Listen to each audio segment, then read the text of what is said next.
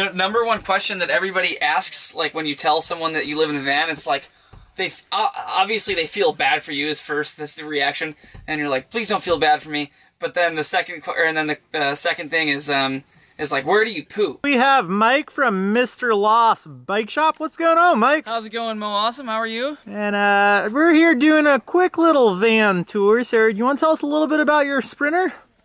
Yeah. It's a Sprinter, right? It's a Sprinter van. Yeah. It's a 2004. It's red. Um, it's uh, yeah, it's kind of like my dream van. I lived in a van before. I had like a Econoline, and I wasn't super comfortable because I couldn't stand up, but it was super good to kind of get my bearings going. Um, and I kind of learned like what I wanted and what I didn't need in a van. So it was kind of a cool learning experience. So this van is like a culmination of the past few years. We've built a few uh, vehicles um, that you can live in. And so this is kind of all of my learning from the past couple years. So I think it turned out pretty good. Um, so yeah, in the back, it, like when I bought this thing, it was literally completely empty. So I built it up from scratch. I built everything myself. Um, so here's my garage. And uh, yeah, so you can fit two bikes back here that are uh, um, kind of locked in um, and mounted to the ground. But then if you really wanted to, you could probably squeeze like four bikes back here. All the wheels go over here in like this waterproof tray, so when it's wet, they drain down there. Put all my wet stuff in there. Um, I got my water tank back there and a water pump, so I have running water. Um, Is this an air compressor? uh, no, that's this. So this is a hose. Ah. Um, it's just hooked up to the water pump, so it, it's pretty wet and muddy out here all the time. So if I'm riding and I like need to spray my bike down, I just take that. Or if it's hot in the summer, um, I pretty much just take a shower with this thing. So um, yeah, it, turns, it works pretty nice. So and how, this is basically just a wall, wooden wall, or? yeah, so this is a wooden, or obviously yeah. So um, what I wanted to do is I wanted to wall this off so that the um, garage area was completely separate from the bed and like the living space. And also the main plan with uh, with the upper part was um, we. So I own a bike shop and I wanted to have a lot of tools with me. So I needed a place where they were all kind of like easy uh, to get to. Um, and since we used to be a mobile bike shop, I kind of knew how to mount all the tools um, and have them really uh, easy to access and ready to grab and go. Um, so we had this very similar setup like this in our mobile bike shop. So I pretty much just took that idea and took it up, uh, or I took that idea and I put it in the back of the van here. So um, these are pretty much all the things that you're going to need when you're on the road. Um, and kind of in storage, I have things like bleed kits and uh, spare parts and stuff. But um, yeah, that's pretty much it. Like right here, um, all the batteries are in here. Uh, I got some jumper cables and the fuses are all in here. So all the electrical stuff goes into th- this uh, space down here. OSHA approved? It's um yeah, you know, if it starts on fire, they'd approve of the fire for sure. Yeah. so um and then yeah, so I have lights in here. I'm just kind of working on them, so they're not on right now. But uh, and then I can mount skis up there, and I could put a ton of stuff on this shelf here. And all the stuff's waterproofed, so um, if it does uh, drain from like my gear, if my helmet or my knee pads are wet, then it doesn't spread everywhere and make everything like moldy or messy. So um, yeah, it's pretty. It's all pretty waterproof back here. This headlight or this uh, um, brake light doesn't work, so.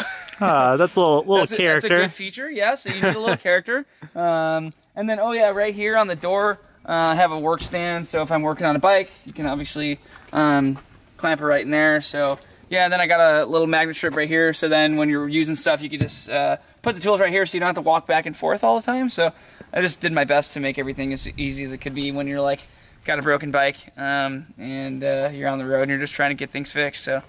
Rad. And you put those windows in yourself? Uh, yeah, so when I bought it, it had no windows in it, so it was completely uh, bare van shell. And uh, I just wanted windows after a while, or I didn't actually want windows at first because I wanted it to be really stealthy. Um, and I didn't really care if like light came in or not at the beginning, but after a while, like it was pretty dark, and uh, I didn't really care about like privacy and security. Like I just thought, you know, whatever. So um, I ended up putting windows in, so that was kind of a pain in the butt because I had to like cut through the wall and stuff in the inside that I already had built. Um, but they slide open, and it's been nice getting like more airflow. So um, it stays cooler in the summer. Uh, and yeah, I just have little like insulated um, covers that I can put in there to keep it warm. And so what do we got going on inside here? Besides, by the way, you guys, that's really low. You can hit your head on it. I've already done it. We're not going to do Yeah. it again. So I actually built that. So if robbers come in, they hit their head and they not get knocked out. Um, let's see. So got a bunch of ceiling lights. It's kind of dirty right now. It's kind of always dirty.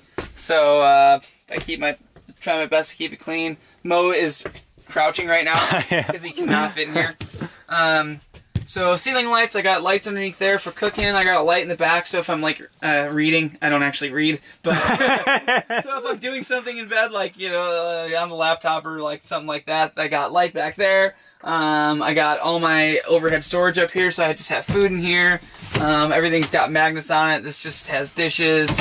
This has the basics. I keep a lot of my food in mason jars because it's really easy to um, keep organized, and also then I don't have as much waste. I like to buy in bulk. So those are magnets that are keeping it shut. Yeah. So things aren't bouncing around. Ah. Um, and then I don't know, a bunch of just everything's a lot of storage. So down here, this just folds up.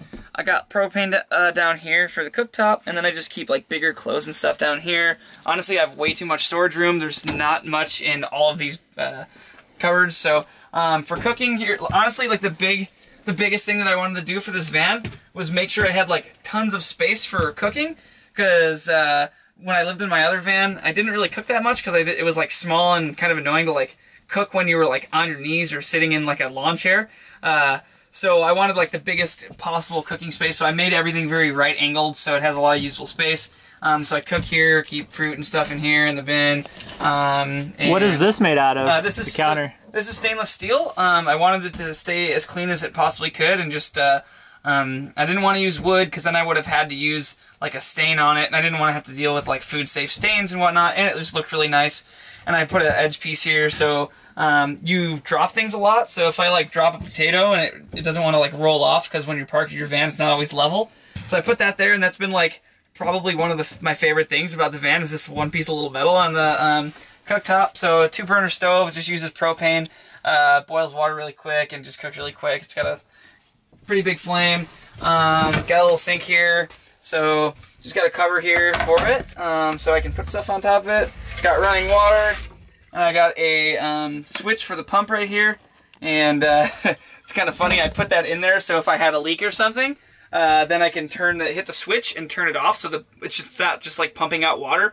And it's funny because this same thing or the reason that I put that in there that actually happened to Mo and Hannah the other night. and they had a leak or something, and so the the water was just running on the pump, and he was trying to pull the fuse out. And there's just like water everywhere, so. So we're gonna put one of those. So they're in. gonna put one of those in there, yeah. So, um, let's see. So I just got like a bunch of drawers down here. Um, top, uh, all this stuff's pretty screwed down. Some things kind of roll around, but not too bad. Um, knives, like utensils. I don't actually know where they all are. I think they're at the shop right now. but uh, that's all screwed down so it doesn't move. I just got like toiletries and uh, pots and pans in here. Uh, this is kind of like sock and underwear. And this is a junk drawer. You obviously need to have a junk drawer no matter what. And then down here, just more like food stuff, like bigger like pasta and like a strainer and extra paper towels and stuff. And then down here um, is my fridge. It pulls out. Um, one of the things is broken right now, so it's bungee corded, or one of the sliders is broken, so it's bungee corded. But uh, I don't really feel like opening that right now. But trust me, there's a fridge in there. Uh, Just two questions. So that's Yeah. a 12 volt fridge. yeah, it's a so it's a 12 volt fridge. Um, it just runs on 12 volt. It's not like three way. It doesn't run on propane or anything else. Um, but it's super efficient. And I went with a top loader, um, just like in Mo's van, because uh, the cold air will stay down. So when you open it, um, if you have like a front facing fridge, like you would in like like a, like a dorm fridge or something, um, every time you open the door, all of the cold air spills out, and it's not as efficient. So every time you have like any electronic device in a van, uh, you're going to want it to be as efficient as possible uh, because you are running all of your electro. Generally, you're running all of your electricity off of solar and also from the engine when it's running via a switch. But um, anyway, if it's like cold and I'm using the heater uh, and I'm using and I'm charging my laptop and I'm using the lights and uh, I'm running the fan and, and all my electronics, you know, I want to have as much power as possible. So everything's super efficient. And is there a freezer on it? Uh, there is a free- freezer. Yeah, on one side it's a freezer. I don't really use it that often because I don't really eat um, frozen food too much. Like all my vegetables, I buy like uh, fresh and um, whatnot. So I don't really have anything frozen. Plus, if I had a freezer, then I'm gonna eat a ton of ice cream, and I'll just like I'm just gonna like save my body. just try to save my body and not have ice cream in the van at all times because. Uh, I'd eat a lot of it. So And the water for the sink, that's coming off of that water tank that we saw back there. Exactly, yeah. Water tank in the back. It's uh, 17 gallons. Um, I could have gone bigger, but I actually had that tank spare, so uh, I probably could have done like 30 gallons. But 17 gallons lasts me a while. Like, um, if I was like living off of it every day, um, I would probably need to fill it up maybe like once every week or two.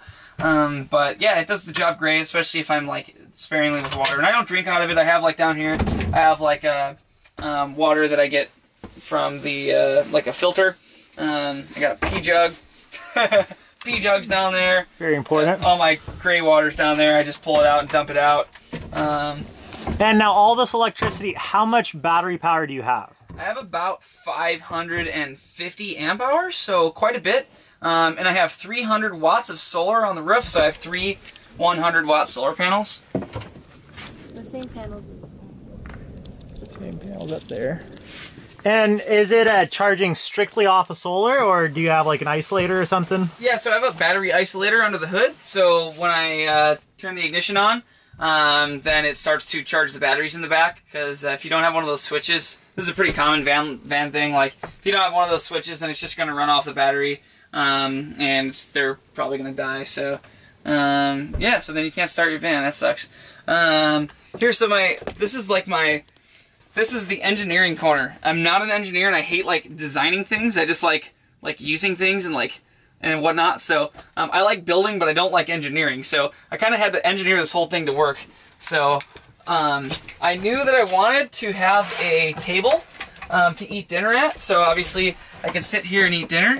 Um, but I wanted it. I didn't want it to like restrict the door a bunch. So I had to make this chair uh, on this side slide. So I just put these sliders on the bottom. And so when you pull this out, oh, so when you pull this out, then it extends all the way. Um, so then somebody can sit here and eat with me, and it's pretty comfortable. But I also wanted it to be uh, kind of convert really quickly into like a bed or like a chaise or uh, couch or something. So I have this little system where I take this off the wall, and then it goes Oh. right there. Put the chairs together, and it just sits on like these uh, chunks of two by four that I have cut. And then I have this cushion, Ah, I didn't even know about Yeah. this. and then it goes right there. And then, um, if you want to see what I look like most of the time I'm in the van, it's generally like this. Oh, look at that. Or I'm like half asleep. Generally on my laptop. So if I'm ever emailing you about bike parts, I'm probably sitting right here, like a total slouch, with horrible posture, by the way, and typing away, um, and editing video and stuff. So this is kind of like my, uh, yeah, so I live in it and work in it, and it's great. So, So, uh, what is one of your favorite parts about your van, and what are a couple of things that you would have done differently, or you're still gonna do differently? Sure. Um, my favorite part is my toilet, which is down here. Um, so the number one question that everybody asks, like when you tell someone that you live in a van, it's like they uh, obviously they feel bad for you is first. That's the reaction, and you're like, please don't feel bad for me. But then the second, or and then the, the second thing is um, is like, where do you poo? And so it's it's actually not that bad. Like uh, it, you don't generally have to poo in the middle of the night, like everyone thinks that you have to poo every night in the middle of the night. Like I don't know what you're eating, but if you have to poo, if you have to poo in the middle of the night every single night, then you should definitely see a nutritionist um, or a holistic doctor or something. But anyway, um, it does happen sometimes. This is my favorite part of my van. I hid the toilet right underneath here, um, so you just unhinge it, pull it out. Um, yeah. There's my toilet. Yeah, exactly. so, um, yeah, so that's my favorite part. And just in case of emergency and you got to poop in the middle of the night, there you go. You're all done. Um, I don't know. I don't actually actually think I would have changed anything. Like everything is pretty dialed. Um, I probably would have gone with a bigger water tank just because I have the space for it. Um, other than that, I don't. I don't know. I don't think I'd really change anything honestly. So Yeah. uh, it's pretty good. So yeah. well, thanks a lot, Mike. Now, uh, so questions uh, for our audience. How can they find you? What's your social media sites? Um, let's see. So uh, the best way to find us is on Instagram. That's at Mr. Lost Bike Shop. Um, you can also go to our website if you like need parts or like help with bikes or anything, which is just www.mrlost.com. Because you guys are a Uh, mobile, you guys are an online bike shop, a mobile bike shop, and you guys also have a storefront, right? So we used to be a mobile. So we started as a mobile bike shop, and then we had an, a web store that started gaining popularity. And since that became really popular, then we uh, stopped doing the mobile shop and just have a retail like brick and mortar store. So now we just have a brick and mortar store and an online website.